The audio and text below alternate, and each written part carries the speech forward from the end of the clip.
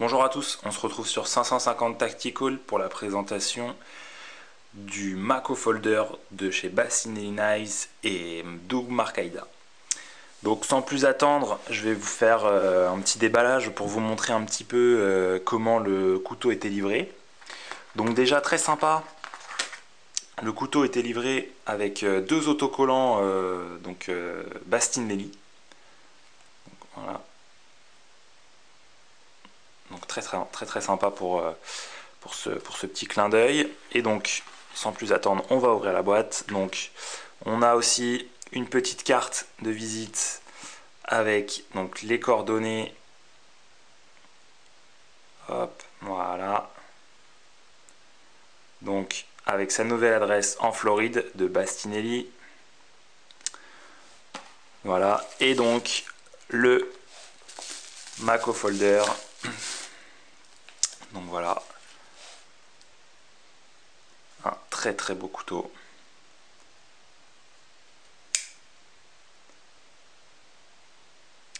Avec une ligne absolument magnifique.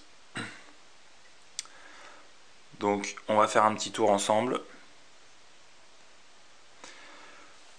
Donc on a des plaquettes en G10.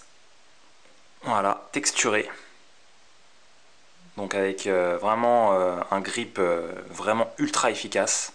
Donc là pour le coup c'est vraiment top.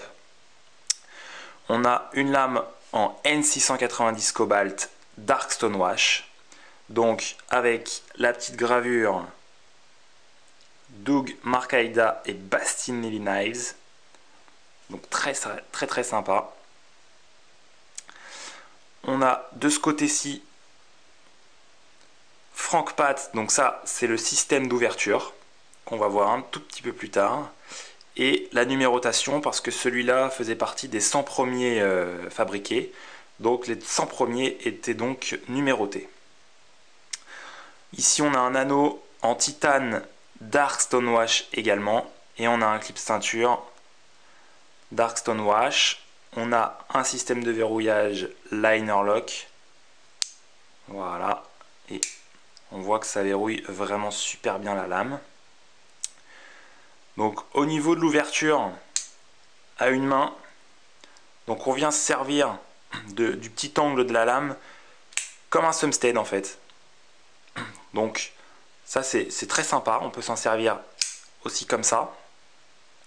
Donc ça, c'est vraiment euh, un petit truc euh, très sympa auquel j'avais pas forcément vu euh, quand j'avais vu le couteau en photo. Donc voilà, au niveau de la prise en main, donc on a une prise en main classique qui est très très agréable parce qu'on a le petit repose-pouce à chaque fois, comme sur les couteaux de Bastinelli qui est là. Donc très très sympa, c'est un couteau qu'on a très bien en main.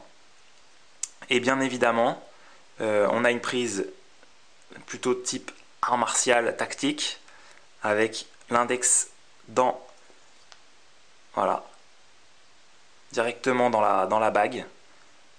Donc là, on a une super prise en main. Et on peut également se, servir de ce couteau fermé, donc, euh, parce que ça peut se servir d'un pack tool. Voilà, et là on a le, petit doigt qui vient se caler contre l'angle de la lame. Donc je vous montre tout de suite euh, l'efficacité euh, de, de ce système d'ouverture en sortie de poche. Et puis euh, je vous retrouve tout de suite après. Voilà donc euh, au niveau de la sortie de poche. Voilà, ça donne ça. Donc une sortie rapide, vraiment très efficace. Donc là ici il suffit juste de l'incliner et ça sort tout seul. Euh, on n'est pas obligé de le mettre en clip clipsé parce que c'est quand même pas forcément ce qu'il y a de plus discret. Euh, on, peut, le laisser euh, en fond de poche et venir le chercher avec, euh, l'anneau, on, le trouve très bien dans la poche, et là on peut aussi le sortir assez rapidement. Au niveau de la sortie, on peut aussi le sortir sans le, ouvrir la lame, donc ça peut offrir différentes possibilités. Donc c'est vraiment ce système d'ouverture est vraiment euh, ultra pratique parce qu'on peut choisir un petit peu euh, si on veut ou pas ouvrir la lame.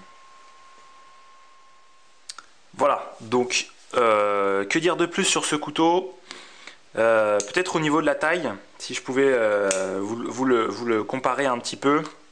Alors bien évidemment, je vais le comparer au Dragotac Compact, même si ça n'a rien à voir en termes de taille. Mais voilà, un petit peu pour vous donner un ordre d'idée. Et puis, je vais vous le comparer au Benchmade Mini Griptilian, parce qu'il fait à peu près euh, la même taille en termes de longueur, même si c'est deux couteaux qui n'ont rien à voir euh, en termes de ligne et en termes de d'utilité, on, peut dire ça comme ça. Donc euh, voilà au niveau des tailles ce que ça peut donner.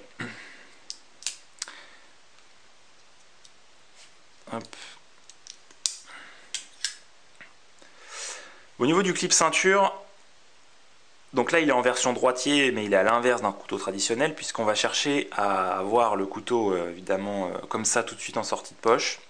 Mais on peut également le mettre de ce côté-là. Hop, voilà, voilà. On a l'emplacement ici pour, le, pour changer le, clip ceinture de côté.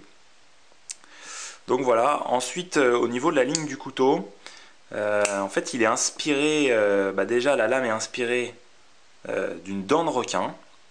Et il s'appelle le Mako Folder parce qu'il est inspiré du requin Mako.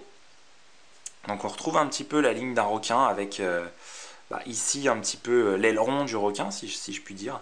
Donc en tout cas en termes de ligne c'est juste magnifique et en termes d'efficacité je pense que bah, au niveau du carambit on est, vraiment, euh, on est vraiment bien placé. Donc vraiment un couteau super. Donc euh, je vous mets la, page du site de, Bastien euh, en description de la vidéo et puis euh, n'hésitez pas à me dire ce que vous pensez de ce couteau. Voilà, je vous retrouve très bientôt pour de nouvelles vidéos. Ciao